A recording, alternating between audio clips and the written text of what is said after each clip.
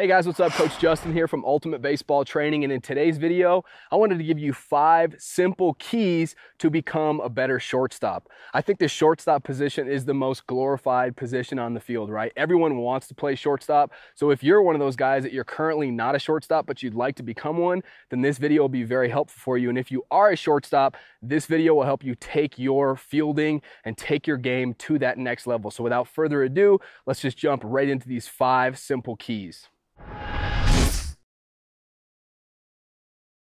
Tip number one is always make the routine plays a lot of people get it twisted and they think that the only time that you stand out on the field is when you make those web gem, you know, Derek Jeter type plays when you're doing the jump throw and stuff like that. And that couldn't be further from the truth. In fact, what stands out most to a lot of coaches and even a lot of fans is wow, this guy always is making the routine play. And the thing is, nobody expects you to make those backhand web gem Derek Jeter plays. If you do make them, obviously that'll make you look a little bit better, right? That'll make you look like an elite shortstop, but nobody expects you to make those plays plays. So on those plays, let your athleticism take over. Try your best. Obviously, you want to make that play right, but it's more important to focus on every single time a routine ground ball is hit your way, you're making the play. You're gobbling it up. You're hosing that runner at first base. Make the routine play every single time, and that is going to make you stand out as a shortstop.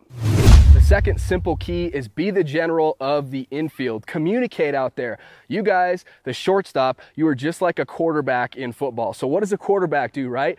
They're walking to the line of scrimmage, they're looking around, they're checking things out, they get under center, maybe they see something, they make an audible, they're in direct communication with the coaching staff. They know what everyone around them is doing. Guys, as a shortstop, that has to be you, right? You have to know what everyone in the infield is doing on every single play, on bunt coverages. You need to know on, on cuts and double relays and things like that, who's going where. And you have to communicate. So be vocal, be that guy that's at shortstop saying, hey, two outs, two outs, or turning around to the outfield and making sure that they know, hey, we got two, two down, two down all right? Be that guy that you know you're communicating with your your second baseman. So if there's a runner on first base he might steal right? So you guys have to have some form of communication whether it's open mouth closed mouth telling you know who's going to cover that bag. Maybe it's you know runner on first base again the double plays in order and you're telling the pitcher hey come backer you and me you and me all right? Let's go let's go.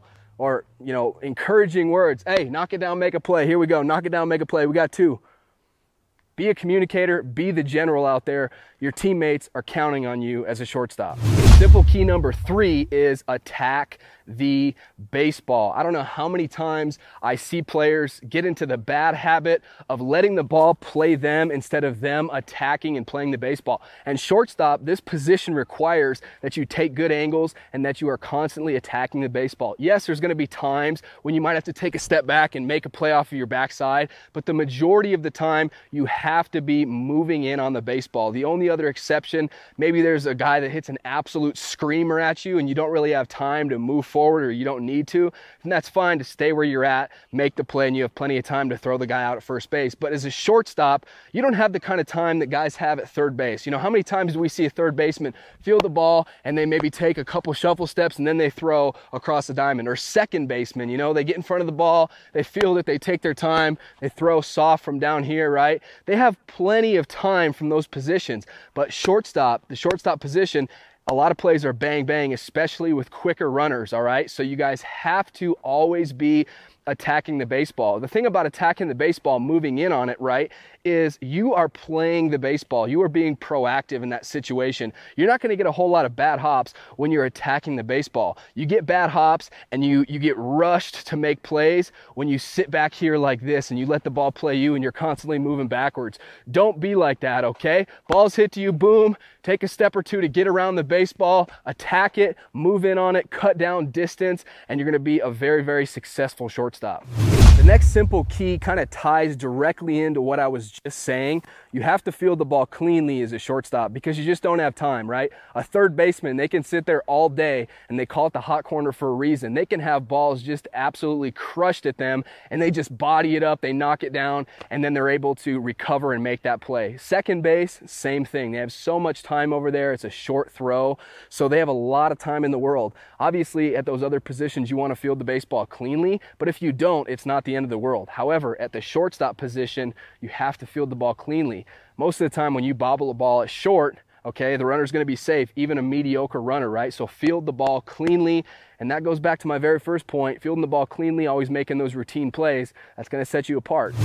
Key number five is you have to be comfortable fielding the baseball in a variety of different locations, right? Again, it goes back to the third base example. Yes, they have forehands, they have backhands, but most of the time they shuffle their feet and they make the play. A lot of third base plays look very similar. However, a shortstop, you're gonna see him in a, in a just one nine inning game, you're gonna see him not only make plays that are hit directly at him, but you're gonna see him have to make double play feeds. So maybe he drops his foot back here and he throws from down here, has to make double play feeds. Maybe he he's carrying his momentum in a double play, and so he's flipping underhand. Maybe sometimes he's got to do a backhand like this. Maybe sometimes it's a do or die backhand, and he has to go stretch like this. So you have to be comfortable fielding the baseball in a bunch of different locations. You're going to have to maybe move back on some, move forward on some. Maybe there's a high chopper, and you're going to have to field it as a slow roller, and then hopefully make an awkward throw and get the guy at first base you have to be comfortable fielding the baseball in a bunch of different locations. And the only way to improve that is to go to the field and to work on it, right? So stay after practice. If you don't get enough ground balls, stay after practice. Have a coach, a teammate, somebody hit you ground balls, fungo you ground balls. And they're not just going to be right at you, easy plays every single time. I want them to mix it up. So forehand, backhand, right at you, high choppers, softer ground balls. Have them mix it up. They're not going to tell you exactly where it's going to be, but everyone's looking for a shortcut to success. At the shortstop position, at any infielder, it's all about the reps. Reps, reps, reps. The more you handle the baseball, baseball, the better you're gonna be. But get comfortable in different locations. And I said there was gonna be five simple keys, right? I'm throwing in a sixth key. You have to be comfortable and learn how to throw the baseball from a bunch of different arm slots. So it goes back to those other positions, right? Most of the time, a third baseman can throw from a pretty consistent arm slot. So maybe it's right here most of the time he has the time to make that throw every single time, right? But as a shortstop, you know, maybe one time you feel the ball hit directly at you and you can, you know, turn your shoulders, you have plenty of time and you can throw from your normal arm slot. Let's say it's right here. But other times, let's say it's a slow roller. So you have a slow roller hit at you and you're going to probably have to field the ball and throw it from down here, right? Let's say it's a double play and you're not close enough to do an underhand flip like this to the second baseman. You're going to have to field the baseball. You're going to have to open up this leg and toss the ball from down here. Let's talk about that web gem Derek Jeter play, right? You backhand a baseball and maybe you do that jump throw. So you have to be comfortable uh, with throwing the baseball from a whole bunch of different arm slots. And it goes back to again, how do you get better at that? You go to the field, you actually work on it. Hope you enjoyed today's video. And before you go, I actually want to share with you my free bat speed boosters. It's a 100% free bat speed workout that's going to take your bat speed and your power to that next level. All you have to do to grab that, just click on the very first link below this video in the description. That'll take you to my website. Just need your email address and then I'll immediately send you these free bat speed boosters. So click on that link, do that now. If you enjoyed this video, please leave me a thumbs up. I'd really appreciate that. Subscribe to our channel if you're not already because we're coming out new baseball videos every single week. And also get in the comments section. Let me know what you'd like to see in future videos. Thank you so much for watching and I'll see you next time.